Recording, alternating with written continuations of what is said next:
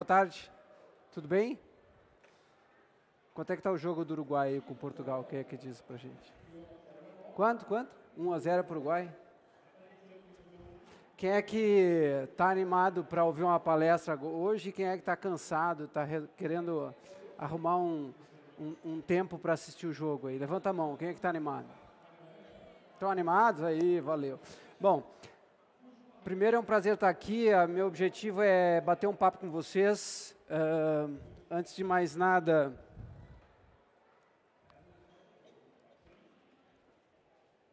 meu nome é Luiz Felipe, eu sou, sou hoje secretário de Tecnologia da Informação do Ministério do Planejamento. A minha função dentro do governo federal é, junto com uma grande equipe de 170 pessoas, é, promover a transformação digital do governo brasileiro. Não é nada simples, é algo que tem muito a ser feito ainda, imagino que vocês saibam disso. E eu queria, inclusive, debater com vocês quais as alternativas, quais as possibilidades que vocês imaginam que a gente possa evoluir. Antes de mais nada, eu queria que é, deixar aqui os contatos das nossas equipes, é, o meu contato no Twitter, a, o contato, a conta do GovBR, que eu sugiro que vocês sigam, é onde o, o, o, governo brasileiro, a equipe técnica do governo brasileiro é, apresenta o que está sendo feito, que auxílios a gente necessita, uh, todos os serviços que a gente entrega, qual é a capac capacidade de colaborar com a sociedade que a gente tem. Então, sugiro que vocês sigam. A conta da rede de inovação do governo federal é a InovaGov. A InovaGov foi uma rede formada, é uma rede formada por mais de 100 instituições, públicas e privadas e da sociedade civil.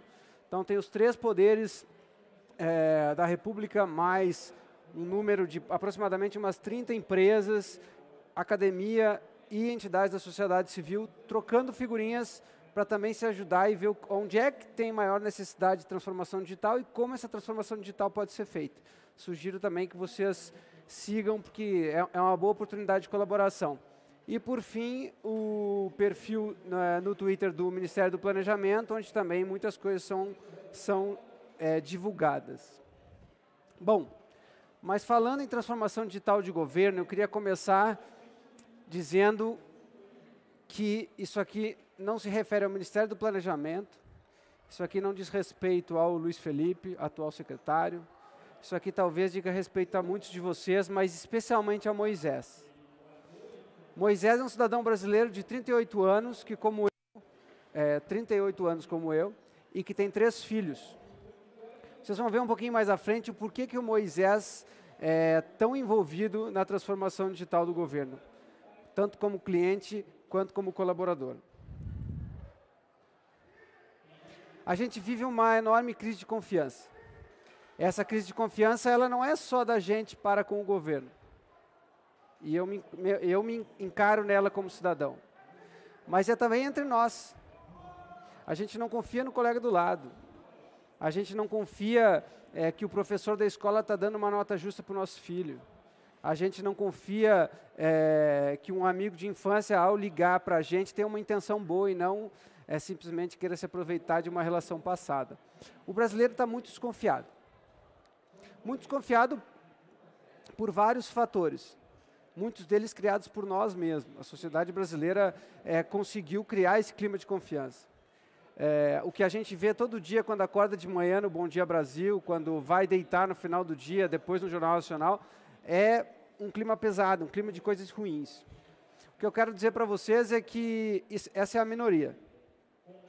A, é a minoria das, das, situações que a gente vive hoje que é, traz um clima ruim. A gente deve também valorizar todas as conquistas do dia a dia, a capacidade da gente se relacionar, a felicidade e a, e a hospitalidade do brasileiro.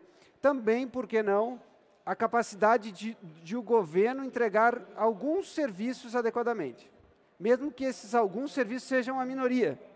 Mas existem, existe muita gente boa dentro do governo, vocês devem conhecer alguns, porque aqui em Brasília isso é uma, né, é uma, é uma, uma relação corriqueira. E eu tenho um time muito dedicado, participo de uma equipe muito dedicada, que trabalha 10, 12 horas por dia é, para tentar fazer a transformação digital desse, desse governo. Mas, mesmo assim, a gente não pode deixar de é, entender que o cenário, o contexto atual é um contexto de desconfiança. Segundo a pesquisa do uh, é, barômetro de, de confiança, 61% dos brasileiros dizem não confiar nas instituições públicas. 61%. Eu não estou falando no governante A ou B, apesar de que essas pesquisas se contaminam pela, né, pela situação oposição, mas a pesquisa, a pergunta não foi em relação a um governante, a pessoa, mas a instituição. Eu confio na instituição governo, a maioria diz que não. Tem uma pesquisa também que foi divulgada pelo Banco Interamericano que diz que 71% 71% é, da confiança de uma pessoa no governo é influenciado pela qualidade do serviço que essa pessoa recebe desse governo. Então, a ampla maioria da, da, da a, variável que, que, que representa a maioria da confiança do cidadão no governo é qualidade. Não é percepção de corrupção, não é empatia ou, ou uma proximidade política com o atual líder, e sim qualidade de serviço. Então, se a gente, governo e a gente, sociedade, se quiser melhorar essa relação de confiança, a gente tem que começar pela melhoria da qualidade do serviço entregue. Bom, a sociedade mudou. Vocês, grande parte daqui, são parte da sociedade que está introduzindo a mudança. Essa foto aqui é uma foto da campanha da Hillary e acho que ela fala mais do que qualquer coisa, né? As pessoas, ao invés de estar tá, é, ouvindo a candidata, elas estão de costas tirando selfie. É, é, essa sociedade, esse grupo de pessoas, né, na faixa etária ali de 16 a 24 anos, que no Brasil já é 86% incluído digitalmente, seja, 86% dos jovens brasileiros acessam a internet frequentemente. Esse número pode parecer baixo para vocês que estão aqui, que acessam a internet o dia inteiro. Mas vamos entender que uma grande parcela da população brasileira está excluída, está em locais onde acesso à internet é muito difícil. Esses jovens acessam a internet majoritariamente, ou seja, de forma bem precisa, 97% através dos celulares. Então, o celular, o smartphone, a rede de celular, ela conseguiu acelerar a inclusão digital do brasileiro. O que a, algo que a banda larga fixa, por exemplo, não foi possível por conta de todo o investimento em infraestrutura e as dificuldades que a gente teve de avançar nesse caminho. Aqui representa um pouco o que, eu estava falando em relação às gerações. Né? A geração é, antes de 1944 essa é a forma como eles pretendem ser, gostariam de ser atendidos, tá? Não sei se vocês conseguem ver aqui. Mas a geração antes de 1944, ou seja, os nossos, a minha mãe, talvez os avós de vocês, bisavós de alguns, prefere 90% ser uh, atendido ou ser contactado por telefone. E só 2% por algum meio eletrônico como é, web chat ou mídia social. Essa relação nos baby bloomers aí de, do pós-guerra é um pouquinho menor, então aqui talvez estejam os pais de vocês, até 1960. 64% ainda prefere telefone, mas uma parcela ainda pequena, menos de 10%, quer ser conectado pelos canais digitais. A minha geração, que é a geração X, eu nasci em 1979, ainda prefere ser atendido pelo telefone mas já com um equilíbrio quase que paritário, se somar os dois canais digitais, já há uma, uma pequena vantagem nos canais digitais. O que eu quero dizer com isso? A transformação digital ocorreu na geração de vocês. Ocorreu na geração Y e na geração Z, que é posterior a isso aí. É, esse é o momento de corte entre o atendimento presencial ou o contato humano direto e o contato digital, que, se for automatizado, ainda melhor né, essa geração é aquela geração que não quer perder tempo. É a geração que não, não consegue aguardar uma hora e meia para assistir um filme.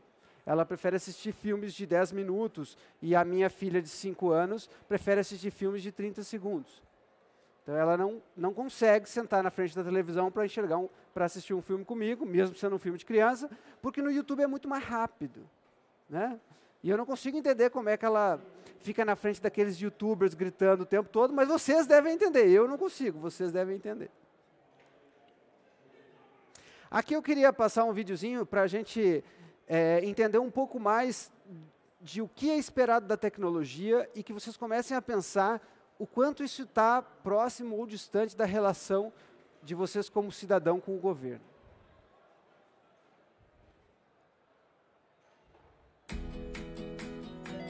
Four years ago, we started to wonder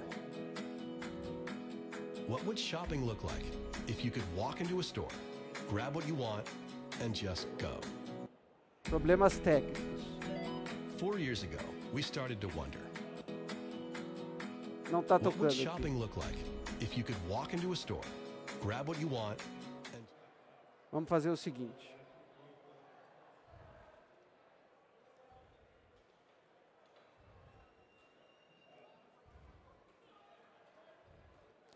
Eu não sou da geração Y, vocês já entenderam, né?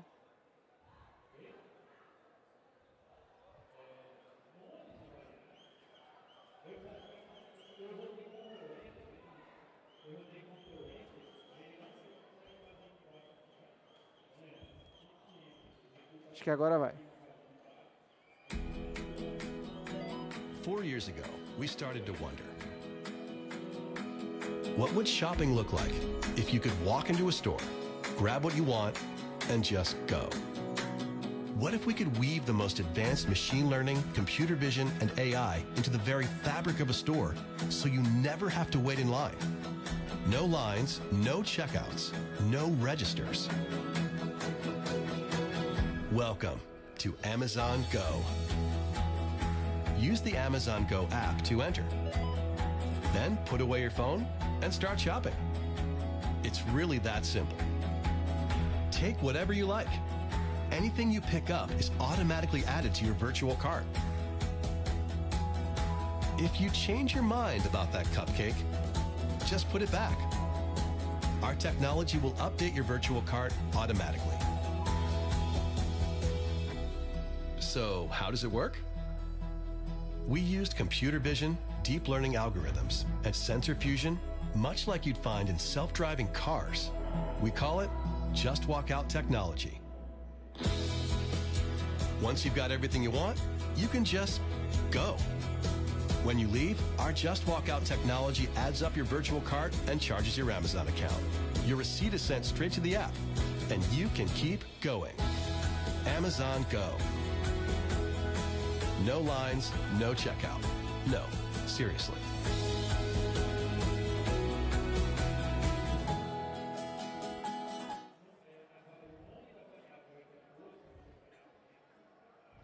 Bom, dá vontade de entrar nessa loja, né? Vamos esperar eles inaugurarem uma em Brasília. Mas é assim a relação de vocês com o governo? Quando vocês têm que renovar a carteira de motorista. Quem tem carteira de motorista aqui? Isso, isso dá para checar a idade, pelo menos os que não têm. Quando vocês fizeram a primeira carteira de motorista, foi assim? Foi ou não foi? Quem ficou menos de duas horas no Detran na fila para transferir um carro, ou transferir uma multa, ou qualquer coisa dentro de um Detran? Quem ficou menos de duas horas, levanta a mão. Mais de duas horas, aí todo mundo, aí ficou fácil, né? Eu, eu recentemente achei que ia ser atendido em 15 minutos, fiquei a manhã inteira no Detran e cancelei a minha, a minha, a minha agenda toda de manhã. Quanto custa isso? Não para o Detran, não para o Ministério do Planejamento, não para o Ministério do Desenvolvimento Social, não para a Receita Federal, eh, não para o Ministério da Educação, não para a Secretaria de Educação, mas quanto custa isso para vocês? A, car- a carteira de, de- de motorista, ela tem uma taxa de, de por exemplo, eh, exame visual, físico, etc. Mas a carteira de trabalho, é gratuita, não é? Quem aqui acha que para o cidadão a carteira de trabalho é gratuita? Levanta a mão. Quem aqui acha que para o cidadão a carteira de trabalho custa e custa muito dinheiro? Custa tempo, porque o nosso tempo é dinheiro. Então, você transformar, se a gente conseguir transformar uma experiência presencial numa experiência digital, a gente vai estar economizando tempo. É o chamado e o famoso custo Brasil que a gente ouve por aí. O custo Brasil é a nossa hora bunda, eu costumo dizer. É a nossa hora sentado na cadeira. É o nosso deslocamento. E eu vou contar umas histórias para vocês de alguns serviços que bem interessantes, onde, onde isso foi medido. Tá? Mas antes disso, eu queria fazer essa pergunta. O governo brasileiro é ou não é digital? Vamos fazer um joguinho para ver se você sabe essa resposta.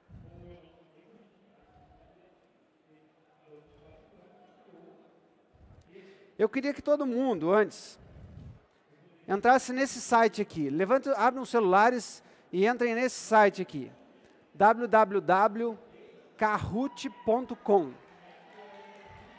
É rapidinho, não dói nada, não tem vírus. Vamos dar uns, uns minutinhos. Quem terminar, levanta, deixa, levanta a mão e deixa a mão levantada para eu saber se vocês já conseguiram entrar no site, eu posso avançar, tá?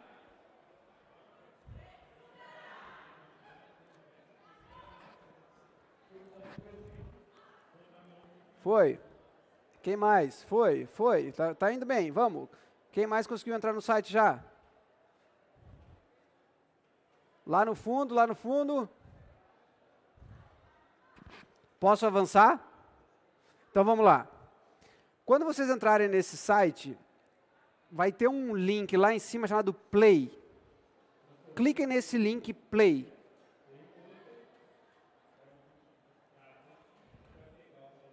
Quando você clicar nesse link Play, vai pedir para você inserir um PIN.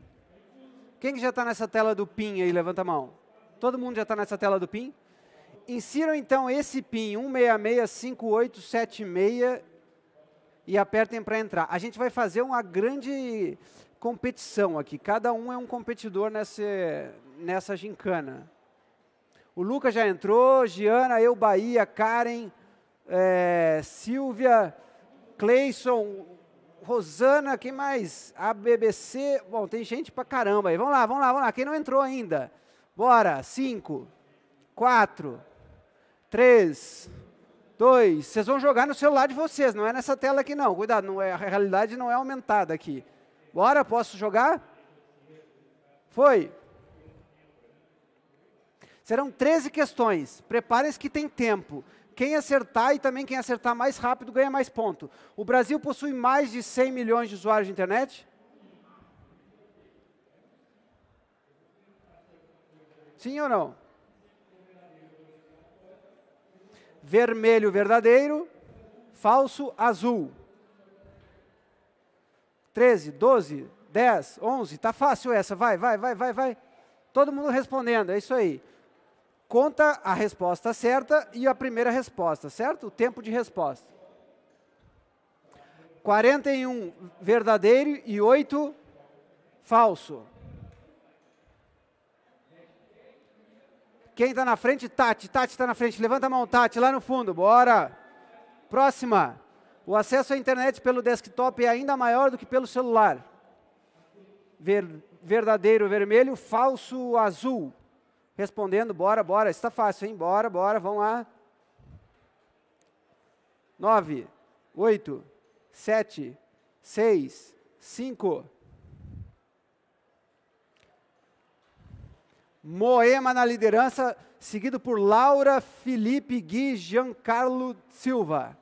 Vamos lá, gente, vamos lá, vamos lá, vamos vencer isso aí. Faltam dez. O Brasil é o melhor país da América Latina em governo digital, segundo o ranking da ONU. Verdade, falso, verdade ou falso?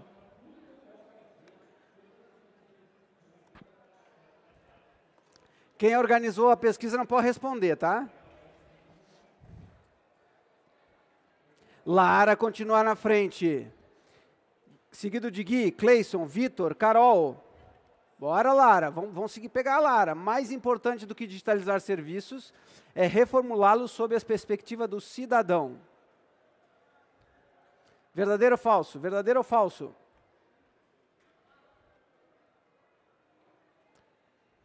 Dez, nove, oito. Tá fácil, tá fácil. Bora, bora, bora, bora.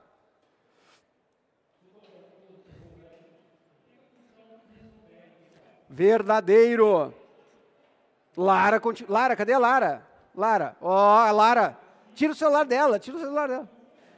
Tira a internet dessa moça aí. Gui, Carol, Cleison, Gabi Souza, bora. O custo de um serviço público para o governo é maior do que o custo para o cidadão. Eu dei a dica, hein? Eu dei a dica. Verdadeiro ou falso?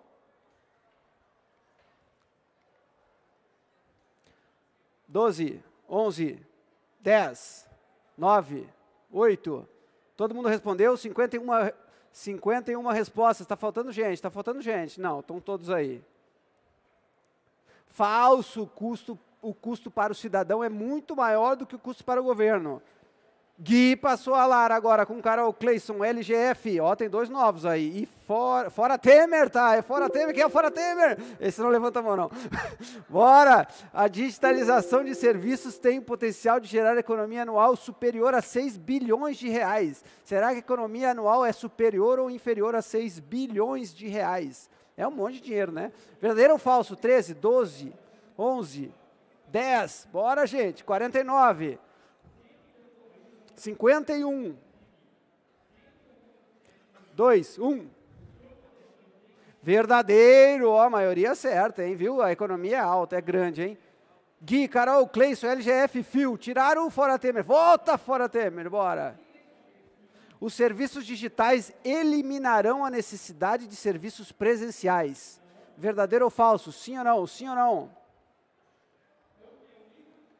14, 12. Vamos, faltam dois responderem.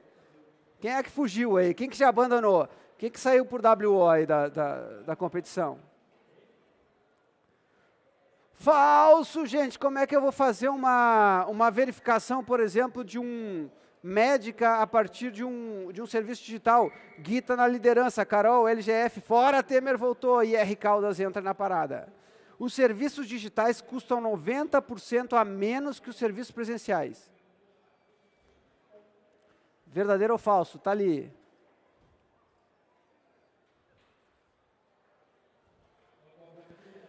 Está valendo uma visita no órgão público. não, não erra de propósito, por favor. Verdadeiro ou falso? Verdadeiro. 36 acertaram. O Gui, Gui, cadê o Gui? Gui, levanta a mão, Gui. Ó, o Gui lá, na liderança. LGF recuperando. Fio, fora Temer, R. Caldas. Atualmente, mais da metade dos serviços públicos realiza de pesquisa de satisfação com seus usuários. Certo ou errado? Certo ou errado?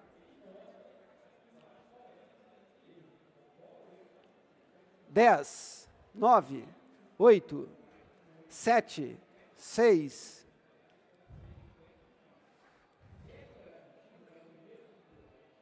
Falso, menos de 20% dos serviços públicos têm qualquer forma de pesquisa com os usuários. Uma organização que não recebe feedback não aprende. E as pesquisas servem para isso. LGF passa para liderança. R. Caldas, Hypergoose entrou. Hypergoose entrou acelerado. Quem que é Hypergoose aqui?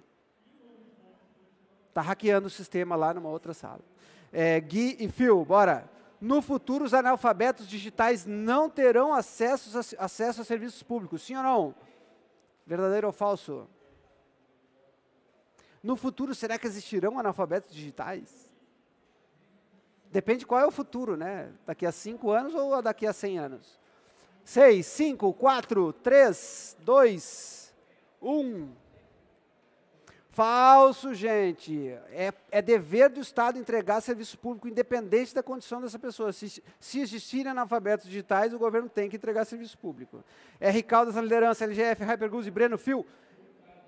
Antepenúltima pergunta. Digitalização de serviços não é, não é sinônimo de simplificação. Digitalizar um serviço é ou não é igual a simplificá-lo? 9, 8, sete, seis, cinco, quatro, três. Bora, bora, bora, bora. Verdadeiro, não é o mesmo. Você pode ter um serviço digital muito mais complicado que o serviço presencial. A gente, é, o governo é, é bom nisso, de fazer coisa complicada, nós, a gente é PHD, tá? LFG, LGF, Hypergoose, R. Caldas, Thomas Phil. Alguém vai cortar a internet desses cinco aqui, porque só eles estão na frente, hein? A digitalização e a automação de serviços levará no curto prazo a redução do quadro de pessoal no governo, tá? No governo. A pesquisa é no governo. A gente vai ou não cair o número de funcionários no governo no curto prazo por conta da digitalização? Sete, seis, cinco, quatro, três, dois, um. É falso o governo, a necessidade pessoal do governo é regulada por concurso público. Essas pessoas estão lá. No curto prazo, se eu digitalizo um serviço, eu não demito essas pessoas. Eu realoco elas para fazer outras atividades. No médio e longo prazo, eu deixo de ter pressão por concursos e aí eu começo a reduzir, ok? Hypergus agora na liderança, na última pergunta. Hypergus, onde está você? Ali, ali, ali, ó, tá quietinho lá. Ele está concentrado. LGF, Thomas, Carol. Última pergunta. O governo possui um portal único onde é possível encontrar serviços públicos? Sim, não. Verdadeiro, falso? Qual é esse portal? Será que existe? Onde ele está? Aparece no Google? É do governo, tá? O Google não vale. Ele é o melhor sempre, mas não vale. 6, 5, 4, 3, 2, 1 verdadeiro. Quem venceu? Hypergoose é o vencedor. Palmas para ele, palmas para ele. Aí. Seguido de Thomas, que chegou no, na última rodada para ocupar a segunda, segunda colocação, e LGF. Senhores, deu para ter uma ideia de o quanto o governo é ou deixa de ser ou não é digital? Deu? Não? Então eu vou convidá-las a, a, descobrir um pouquinho mais sobre isso. Aonde a gente estava, o governo brasileiro, onde essa quando essa revolução digital, que já vem desde a geração X, como a gente viu, aconteceu? Nós estávamos aqui. O Brasil é o 51º país no ranking da ONU, entre 193 países, em governo digital.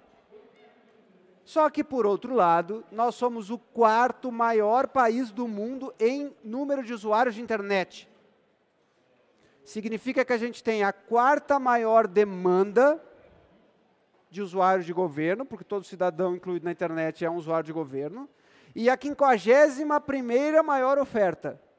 Tem um gap, certo? A gente precisa acelerar. Essa posição incômoda aí, nos né, rankings que é liderado hoje pelo Reino Unido, essa, essa, essa reta, praticamente reta que vocês veem, precisa acelerar muito nos próximos anos. Isso não é simples mas dá para fazer. Então, como vocês já notaram, e de repente sentem isso no dia a dia, enquanto a sociedade é digital, o governo ainda é muito analógico. Para quem, quem imaginava que eu vinha aqui fazer propaganda do governo, acho que está. É, não sei se eu fico no governo depois dessa palestra, mas vamos lá. É, e vale a pena, porque a cada 1% que a gente cresce na transformação digital de um governo, a gente aumenta em 0,5% o PIB daquela nação.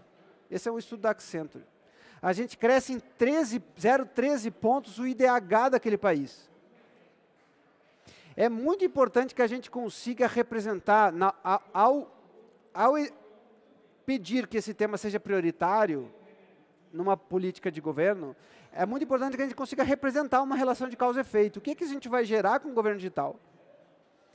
O discurso tem que deixar de ser, não, digital é legal porque o meu filho, o meu neto, porque o Facebook, porque... Não, ele tem relação direta com o desenvolvimento socioeconômico de um país. Isso está aí representado.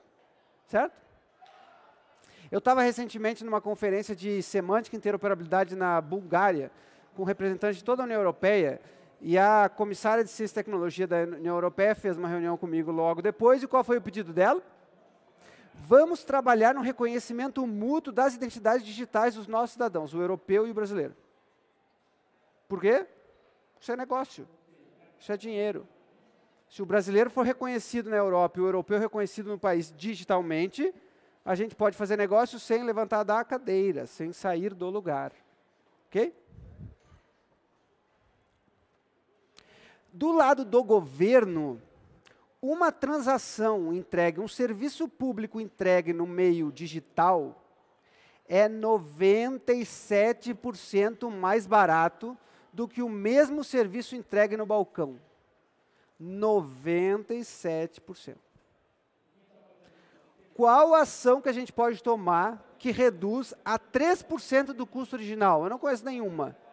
Nem se demitir todos os funcionários públicos, nem se nada, nem se fechar os prédios.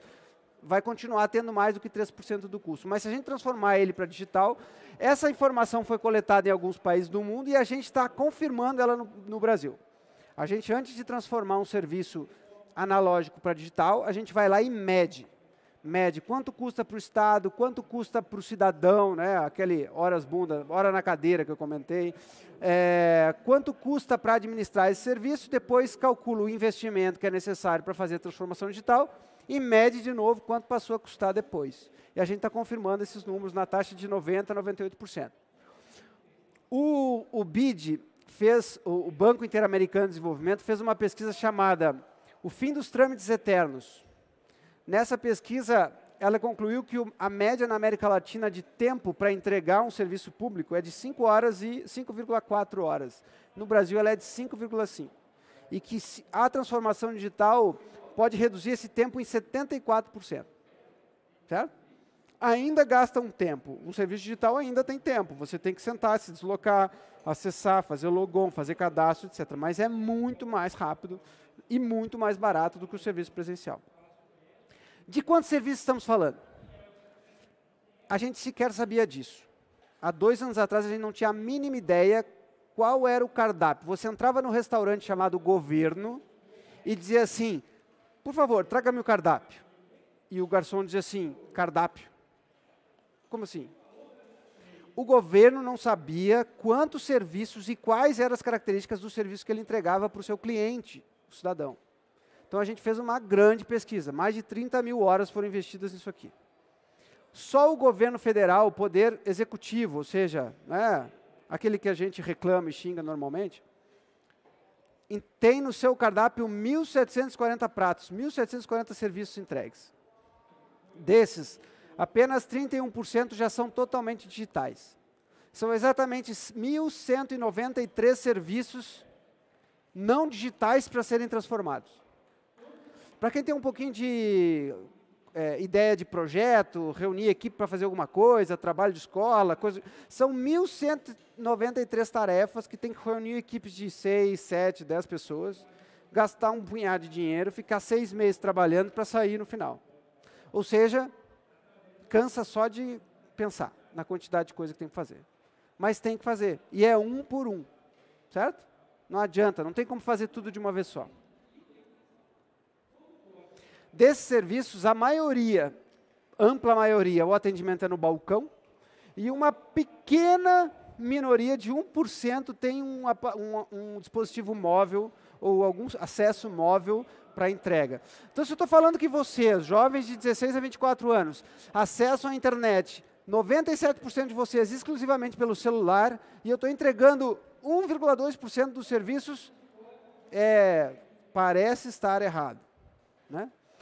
esse esforço de identificar é o esforço de conhecer o problema. A gente precisa entender o que, que a gente está trabalhando antes de começar a transformar. Como acelerar a transformação digital, então, do governo? Como acelerar essa transformação de mil e tantos serviços? Primeiro, vocês só vão enxergar um pedacinho do esforço. O pedacinho do esforço é maior acesso à informação, maior participação social, vocês poderem dar opiniões sobre as coisas que o governo está fazendo, interagir com serviços digitais ou receber políticas públicas que foram construídas por meio de análise de dados. Então, a, a, vasta produção de dados dentro e fora do governo, o governo pode usar esses dados para dizer, olha, você deveria, por exemplo, você poderia estar no Facebook pesquisando uma viagem e o governo te dizer por um SMS, não esqueça que o seu passaporte está vencendo. Certo? Pode, é, é ótimo, não é interessante? Ou você está dirigindo e de repente você recebeu um SMS, você parece estar dirigindo, a sua carteira está vencida. A minha aconteceu isso, eu fiquei três meses de carteira vencida e não sabia. Entendeu? Não tem ninguém no Detran aqui não, né? Mas eu já, já acertei, tudo certo.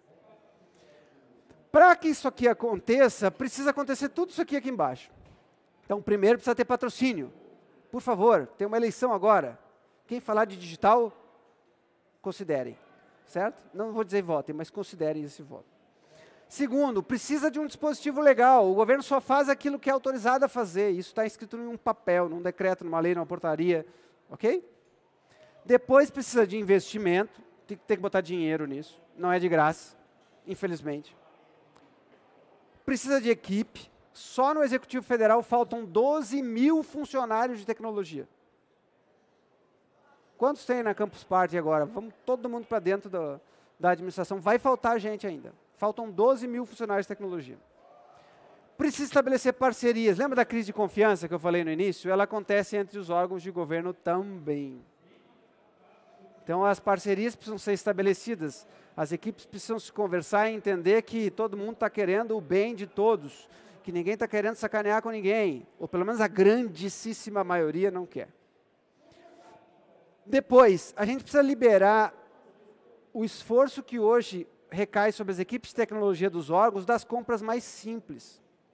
Hoje, um órgão típico gasta uma energia gigantesca para comprar computador, para comprar telefone, para comprar cabinho de rede azul, certo? Para manter a internet no ar, para manter o e-mail no ar. Aposto que vocês, nas startups, vocês nem, se, nem se pensam em fazer isso. Ué, por que, que não usa lá o Gmail, pô? É de graça, estou comprando esse negócio. Então, a gente precisa centralizar essas compras isso a gente está fazendo, a minha equipe está fazendo lá no planejamento. Centraliza essas compras básicas, entrega direto para o usuário final. E o usuário final são 700 mil usuários finais. É a força de trabalho do, do Executivo Federal. Para que essas pessoas possam pensar em algum tipo de transformação. Depois é necessário que se crie serviço em cima de plataformas compartilhadas.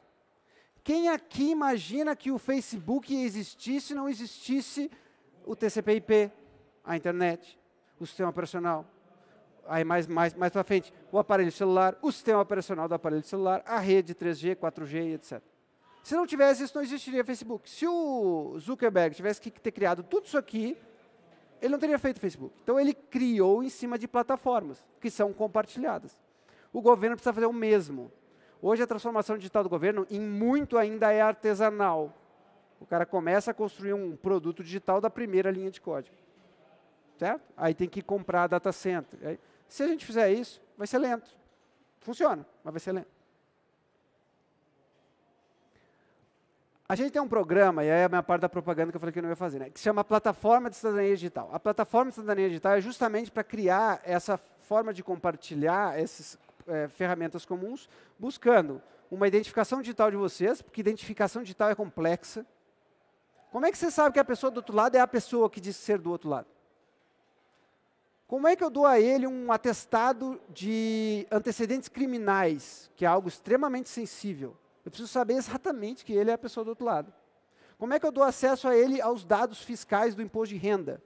Como é que eu entrego para ele um passaporte, se eu não souber que ele é? A plataforma prevê a transformação daquelas 1.193 transações e análise de políticas públicas baseada em dados. O que, que é essa tal plataforma? São várias soluções de tecnologia, de processos e de infraestrutura. Então, cada pacotinho desse, que eu não vou falar cada um, porque eu acho que eu devo ter só cinco minutos, desde o login até o portal de serviços, passando por avaliação, passando por SMS, passando por é, central telefônica, mais embaixo, uma nuvem de governo para o pessoal poder escalar é, né, a infraestrutura, como você já faz no dia a dia, um barramento de interoperabilidade, porque os dados estão todos distribuídos. E não existe governo digital se esses dados não forem cruzados, certo? Tudo isso aqui precisa acontecer e a gente hoje, nos últimos, posso dizer isso com, com, com clareza, a gente já tem 70% dessas ferramentas prontas. Os últimos dois anos de trabalho foi de identificação do serviço que vocês ali viram e da construção desses ativos de governo digital.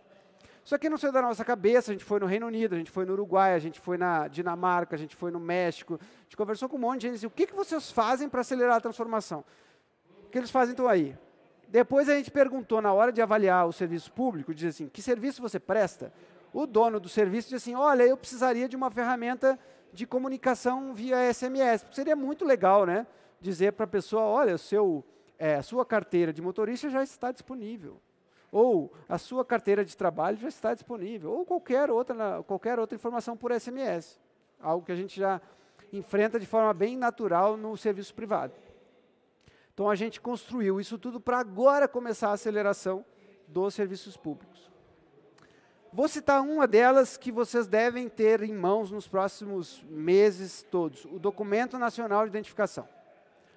O Documento Nacional de Identificação é um documento nato digital. Nato digital significa que ele não tem suporte físico. Não vai existir uma carteira. Você vai baixar um aplicativo de celular.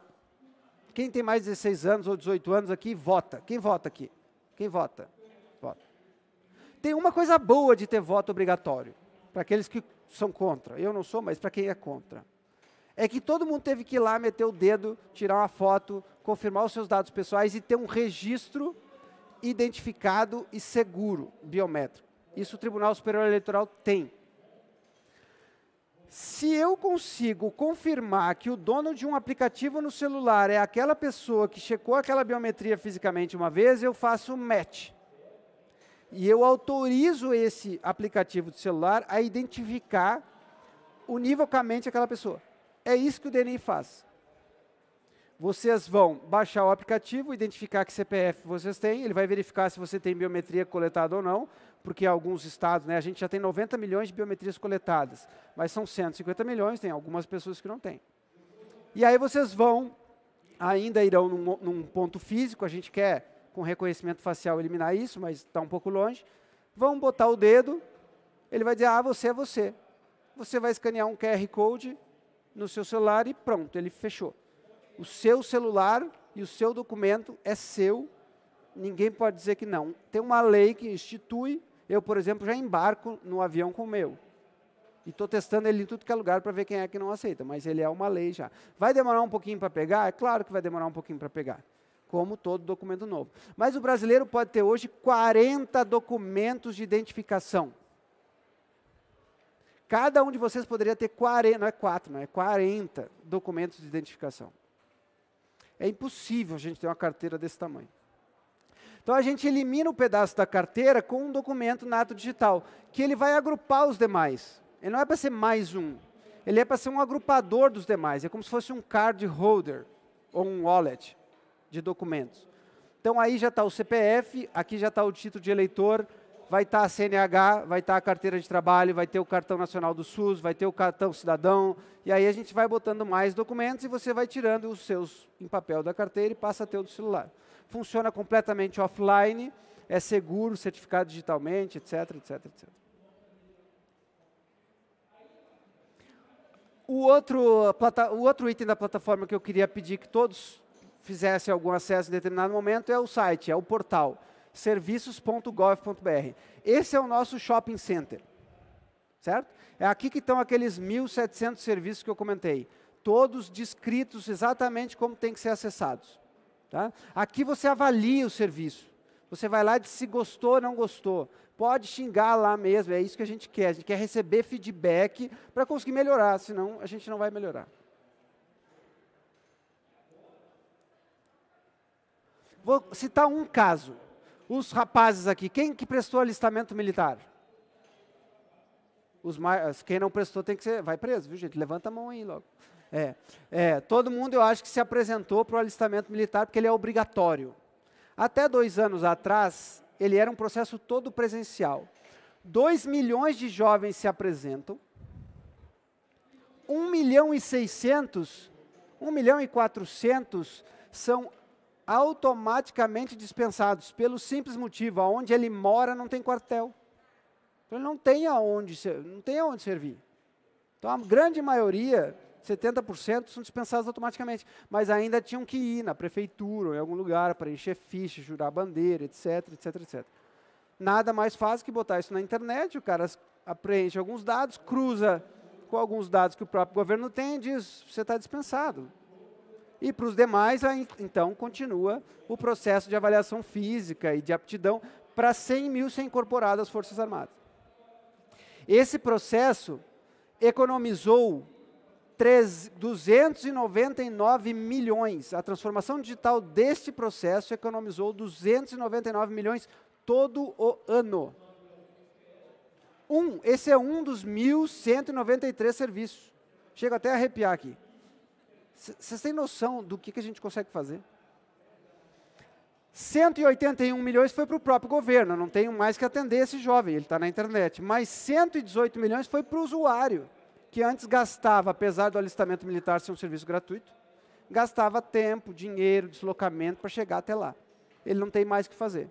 Quem é que fez alistamento digital, alista, alistamento digital? Tem alguém que já fez alistamento digital aqui? Tem ninguém? Você fez o digital? Conta aí, foi ruim, bom, mais ou menos? Foi tranquilo? Pode falar que é tão ruim, só não dá microfone para ele. Tá. É, então, o payback, para quem entende o que é payback, o payback é o quantos, em quanto tempo a gente pagou o investimento nesse projeto com o resultado que ele agregou sete dias. Botou no ar, uma semana depois estava pago.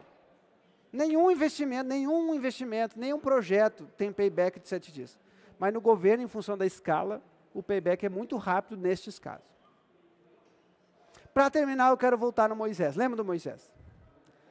O Moisés, além de 38 anos, três filhas, etc, etc, etc, ele é, um, é, é uma pessoa com deficiência. O Moisés estava na é, tardar do dia, assim, quase chegando à noite, andando na rua, foi abordado por, por um meliante ou por um, um assaltante e levou três tiros.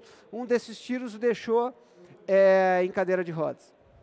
O Moisés veio aqui ao GDF e descobriu que ele poderia ter aquele passe livre para andar no transporte público aqui obteve, o benefício do, do, GDF e descobriu também, isso fazem uns sete anos, que ele poderia ter o passe livre interestadual, que é um serviço federal do Ministério dos Transportes. O passe livre interestadual dá ao, ao deficiente ou idoso em, em, situação de carência financeira a oportunidade de viajar de ônibus para outros estados. E ele, como ia muito para a Bahia, achou uma boa. Ele teve que ir ao Ministério dos Transportes, ele cadeirante, teve que ir ao Ministério dos Transportes várias vezes, levar laudos, documentos, formulários. Levou mais ou menos uns 60, não, 90 dias, ele disse. Entre idas e vindas, ele nem conseguia saber como estava o processamento do pedido dele. Ele tinha que ir lá no, na agência para ver. E o Moisés mora em Brasília, sorte dele, que o Ministério dos Transportes tem em Brasília. Aqueles que não estavam numa região onde tem uma agência do Ministério dos Transportes faziam o quê? Baixavam formulário, escreviam, botava no correio, é, é, tá, correio e aguardava. Em dez dias, em média, a carta chegava aqui, o Ministério dos Transportes abria, faltou um papel. Fechava, ah, ah, volta para o cara, dez dias depois, chega ele lá, ah, isso são meses para uma pessoa que necessita. A gente escolheu, a sociedade brasileira escolheu acolher de forma especial as pessoas que têm esse tipo de necessidade. E, eh, então, ele tem que ser atendido de forma digna e rápida. Hoje, o passe livre é 100% digital. Porque esses documentos que iam e vinham, é, é, essa ida e vinda não era para uma checagem física, para, um teste presencial da pessoa. Ela só trazia laudo médico para lá e laudo médico para cá, laudo médico para lá. Ele era um, o, eu costumo dizer que o cidadão é o web service mais barato que existe. E o governo, né, se ele tem um web service, web service todo mundo sabe o que é, né? Ou não sabe? É o integrador mais barato que existe. Se eu posso dizer para ele ir lá pegar o documento, é mais fácil, eu fico aqui, né, sentado, jogo do Uruguai e tal, né? Então, assim, quando a gente transforma para o digital, a gente faz um investimento, esse cara foi lá, passou a acessar o site, eu cruzo uma série de dados para ver se ele é ele mesmo, e pronto. Em poucos dias, ele recebe uma informação no seu e-mail, e a carteirinha, que ainda é física nesse caso, chegou para ele pelo correio. O Moisés disse exatamente isso. O melhor benefício é não precisar me locomover. Né? O Moisés que tanto é, valoriza a locomoção, nesse caso, ele está valorizando o conforto e é para isso que existe o governo digital. Para gastar mais uns minutinhos, não posso? Não? Então tá bom. Ó, até a ba minha bateria acabou aqui. Eu mando para vocês isso aqui. Tem um outro vídeo bem legal. O que eu queria deixar para vocês é que dá para fazer a gente está no momento de acelerar. É muito, muito, muito valioso realizar. A gente precisa de pessoas, não só para transforma, transformação digital da economia, mas principalmente para a transformação digital do governo. A gente precisa dar apoio de vocês. A gente precisa cruzar competências, porque tem muita oportunidade, tá bom, gente? Muito obrigado.